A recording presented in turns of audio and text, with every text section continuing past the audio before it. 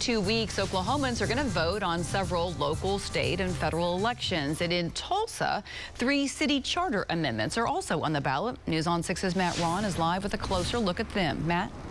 That's right, Lori. Those three amendments propose to change three things for the city of Tulsa, clarifying how the mayor's salary is set, residency requirements for candidates, and how long the city auditor is in office.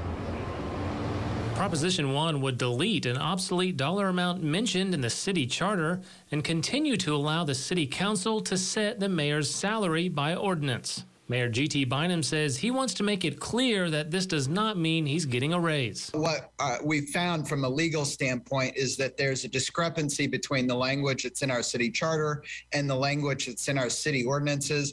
And so this is just legal cleanup. It won't impact what the mayor gets paid at all. It's just cleaning up that discrepancy. Any raise voted on by City Council would not take effect in the mayor's current term. Proposition 2 addresses how long a candidate running for city office must live in Tulsa before running. It would require those running for mayor and city auditor to have lived in Tulsa for at least one year, and those running for city council to live in the district they're running for. I think for the councilors and I, this was a common sense change.